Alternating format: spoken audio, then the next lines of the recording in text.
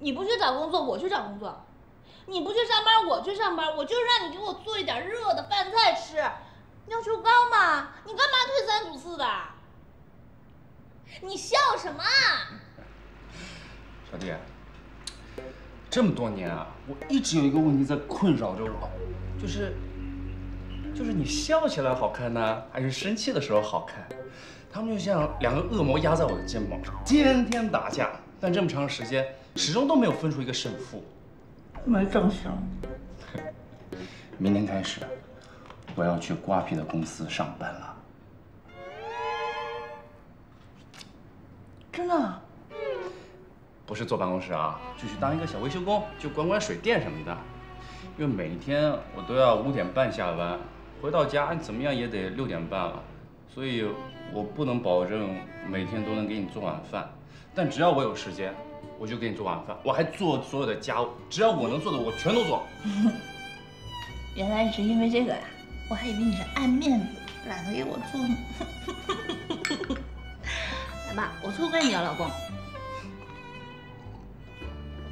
小弟，我做不到的事情，我不会轻易答应的。嗯，但是，我犯了错误，我一定会想办法去补救的。我不知道我们什么时候才可以过回原来那样的生活，但是我向你保证，我只要有十分的力气，我不会只花九点五分的。你相信我吧？我相信。干杯！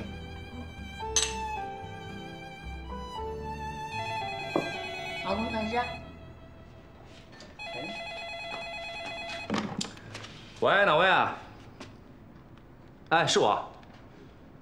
啊？真的？怎么了？祝新宇逮着了！真的？郭队，我们不会只能拿回这么点钱吧？这笔追回的款子是嫌疑人在逃跑之前从公司的账户当中直接给划走的。嗯。只占全部集资款当中的很小的一笔啊。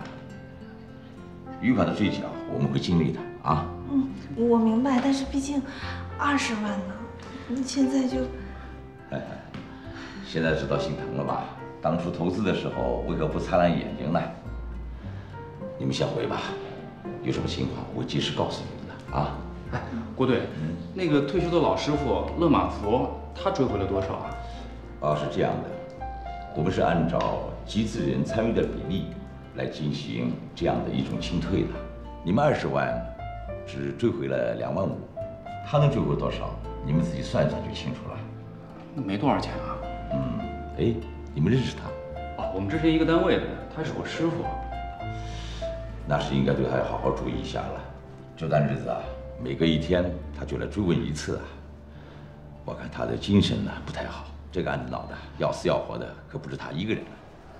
陆师傅要是知道只能拿回来这点钱，他不会又去跳楼吧？少弟，嗯，这么可怜巴巴的看着我干嘛？要不我们帮帮乐师傅吧？你现在不要动那些歪脑筋好不好？少弟，你想啊，乐师傅万一想不开，他又去跳楼了呢？他在这儿跳，他跑到楼顶上跳，那人民警察会人民，大家肯定就拦着他。他想不开，他就跳黄浦江怎么办？他万一要是想开了呢？他哪儿都不想跳了。就算他想开了，他就拿回那点钱，他们一家三口，你想，老的老，病的病，残的残，这日子怎么过啊？对不对？那咱们要是把钱给他了，咱俩的日子怎么过？咱俩不怕啊！你刚才听郭队说了吗？他们会陆续帮我们找回那些剩下的钱，而且我们两个两个人都有工资，这双职工，怕什么呀？对不对？就你心善，就你嘴巧，我听你的还不行吗？都是我老婆，这个人美心善，一点没说错。行行行，拿拿拿拿去吧，你快去吧。是，我也没想到这回可以拿回这么多钱。哎呦，师傅，这就不错了。你呀，多给警察同志点时间，好吧？对。这回啊，我们谁都不折腾了，就把钱存在银行里。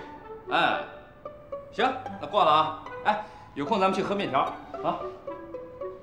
嘿，这个老乐啊。高兴坏了吧？高兴，你没听那腔调，都快唱起来了。是吗？哎，你说这钱这个东西啊，可真的是有魔力，怎么能让人逼成这样呢？时好时坏，时香时臭，难以琢磨也。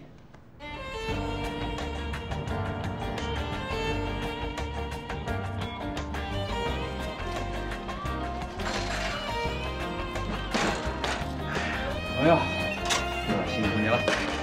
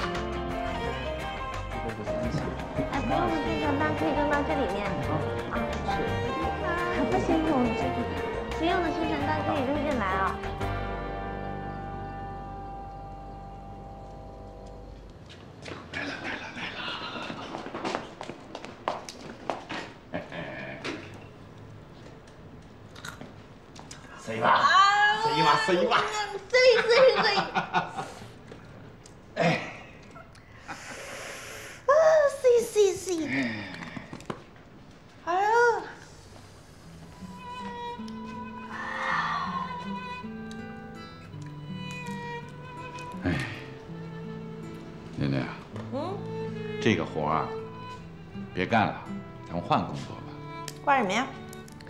小时工啊？还是收银员呢？依我这个年龄啊，爸，也就这样了。我女儿啊，总算是服老了。谁说我服老了？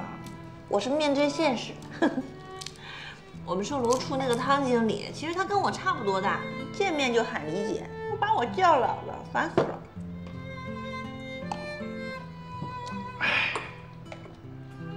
真是天有不测风云啊！怎么会遇到这种事儿？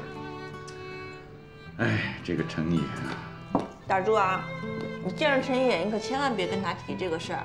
现在对于陈野来说很重要的，他正是在恢复自信的阶段。这个时候你要再踏上一脚，你还让不让他翻身了？那他知道你干这个活，他不心疼你？他不知道啊。我跟他说我是销售，我怕他内疚。你呀，爸，你不用太担心我。其实过段时间可能就好了，就清闲了，不会那么忙了。说不定上面还能给我调调岗呢。要不这样，爸给你钱，你开个服装店，直接加盟你妹妹的那个公司品牌，从她那儿拿货不就完了吗？算了吧，我可不是那块料。你也别跟来弟提这些事儿啊。我就想靠自己，不靠别人，我这样挺好的。靠自己，嗯，说的容易。爸，其实陈野现在挺好，变化特别大，有点像我刚认识他那会儿。刚认识他的时候，他就是个穷光蛋，就你把他当块宝。就是宝，穷怎么了？我们穷，但是穷的很有精气神啊。骑着我们的凤凰二八，兜兜风，压压马路，别提多精神了。港督，港督，港督，上海滩上找不出比你更港的人了。等着啊！